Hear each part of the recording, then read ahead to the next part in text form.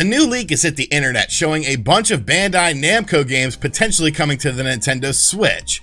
Your PS4 is allegedly a ticking time bomb as a new discovery has been made about playing games on the system that definitely needs to be corrected. And finally, Nintendo has announced a new Nintendo Switch Lite and it's coming out very soon. What's going on guys? I'm RGT85. If this is your first time on the channel, welcome. Be sure to hit that subscribe button and be sure to like the video. But without any further ado, let's talk about what's going on in the world of video games. So Bandai Namco and Nintendo obviously have a very deep relationship. Look at Super Smash Bros. Ultimate. Bandai Namco essentially made that game right alongside of Sakurai, and it's probably the best version of Smash Bros. that we've ever gotten in terms of content, in terms of characters, and in terms of just how much stuff the game actually has. Of course, this extends even deeper to the fact that allegedly Bandai Namco was originally working on Metroid Prime 4 before the game, of course, went back to Retro Studios. But it is kind of interesting that a lot of Bandai Namco games games, especially within their back catalog of games, don't necessarily come to the Nintendo Switch. Well, a new leak is coming to us from Leaky Panda, who is someone that we've talked about on this channel before.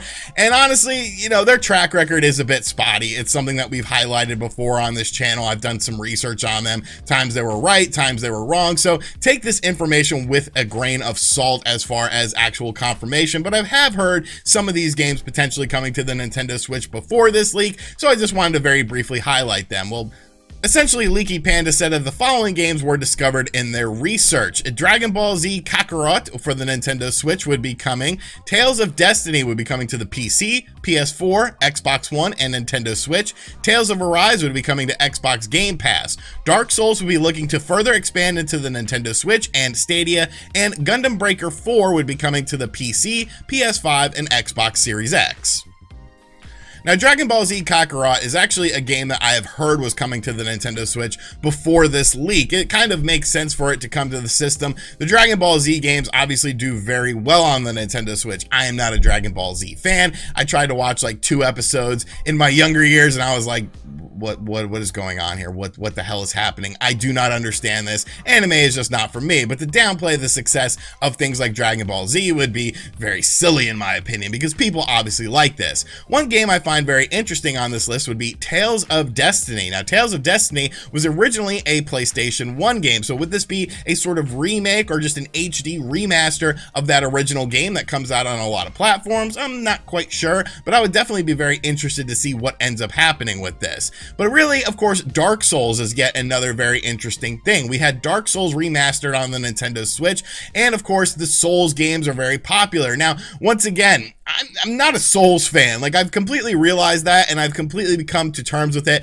I don't like dying a lot. I don't like repetition and then dying, and maybe you get a little bit further, and then you're like, oh, well, I've just lost all my progress. Like, stuff like that just frustrates the hell out of me. I know there's a lot of people out there that love it. I know there's going to be people in the comment section like, RGT, you're such a noob. Like, I, I, I like other games that are difficult. I just don't like games that are super difficult to the point of where it's like just maddening to me. But to see more Dark Souls on the Nintendo Switch would be a very good thing. Like I said, Dark Souls Remastered did pretty decent on the Nintendo Switch. I played the game. I actually had some sort of fun with it, but it's definitely just not a franchise for me. But it would be interesting to see them expand the Dark Souls universe onto the Nintendo Switch. Now, like I said, this is coming from Leaky Panda, who does have a very uh, spotty record, but the fact that I have heard that Dragon Ball Z Kakarot was coming to the Nintendo Switch, it really made me want to talk about this a bit more. So, are any of these Bandai Namco games interesting to you? Definitely the most interesting to me would be Tales of Arise. I would be interested to see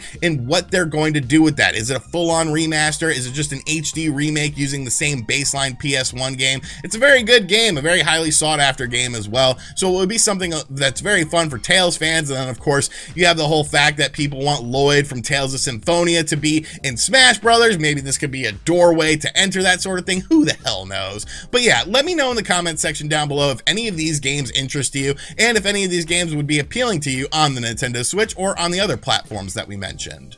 Next up, we're going to talk about something that, yes, today, April 13th of 2021, is not an issue, but for the future, it is an issue. And you say, oh, the future, you know, it's far away. Look at what's happening with the PS3 store, the PS Vita store, and of course the PSP store. People are outraged about this situation. They don't like to see these stores going away. There's lots of ramifications and repercussions, games completely disappearing. PS Vita developers who were making games for the system are now realizing that the store is closing without any sort of warning. So yes, it is not an issue today, but it is going to be an issue in the future. And this involves the PlayStation 4, one of the best selling consoles of all time, a very popular console, console that I really enjoyed that has a lot of great games on it. Well, recently there's been a lot of discussion about Sony and their lineage of systems, pretty much coming down to the fact that Jim Ryan doesn't seem to give a crap about the previous generations, even though everything that we saw from the PlayStation 5 was only capable through the power of the PlayStation 5, yet a lot of these games are PS4 games as well. I digress. We'll talk about that later because we've already talked about it a million times. But basically,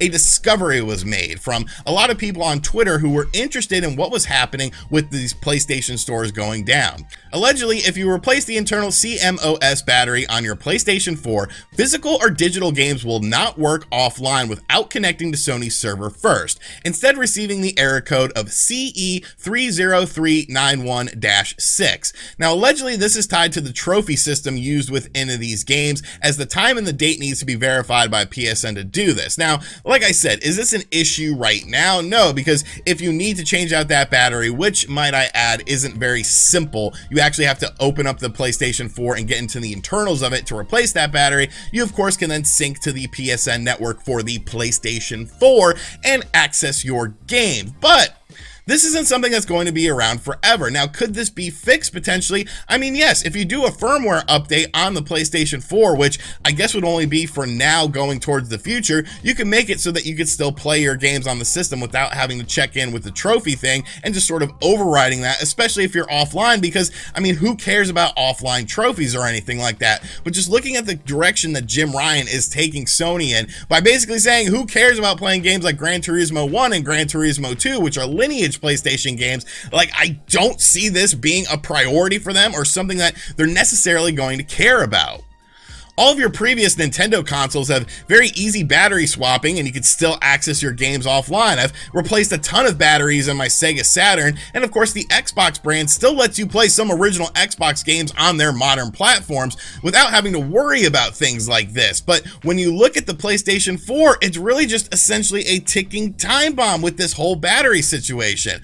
All companies to some extent are going to have problems in the future. Of course, you can't downplay that. The fact that digital stores will go down down is just an inevitability at this point in time. The fact that a lot of games get these huge patches that come out. You're not getting the most updated version of the game if you're playing a game offline and then you just pop your disc in, but you could still play the game. It's just a really weird future to think about where your PlayStation 4 and your PlayStation 4 collection of games could be potentially worthless if you can't play them on your system. Now, like I said, it's not a problem now, but the fact that so many people are upset about the PS3, the PSP and the PS Vita stores closing down should show you that it's going to be a problem in the future. I definitely hope Sony addresses this. I think the PlayStation 4 is a fantastic console, and to worry about down the road when the PS4 store eventually closes because it's eventually going to close, and then you're not going to have access to these games if you need to replace your internal battery or just access these games online to begin with. Like, what does that say about the future of PlayStation 4 games and preservation for it?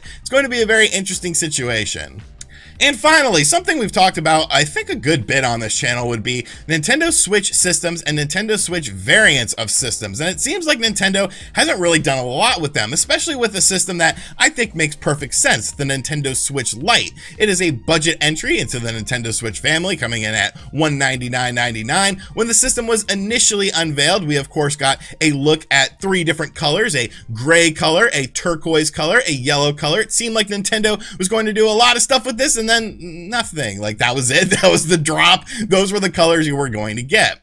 Well, a few days after Nintendo talked about manufacturing stuff and Nintendo Switch hardware, which we covered in a video. If you missed that video, make sure you guys go check that out. It was the previous video before this. Nintendo actually has announced a brand new Nintendo Switch Lite variant in a royal blue color that honestly, it looks a lot like a Knicks blue color. And I kind of want to buy one and put like some orange accents on it to make it like the ultimate Knicks system. Now I'm obviously an idiot and I can't take apart anything, so I'd probably just get some like finger paint and like paint the buttons or something like that. But yes, a new Nintendo Switch Lite variant in this blue color is coming and it's actually coming very soon. Now this system will be launching on May 21st, which happens to be the same day as the huge successful hit game Miitopia. And really, I completely forgot Miitopia was even coming out. Now, if you're unfamiliar with what Miitopia is, it is basically a game that was available on the 3DS. It wasn't that free game that a lot of people thought it was. It was actually a paid game on the system. I believe it was a $40 game.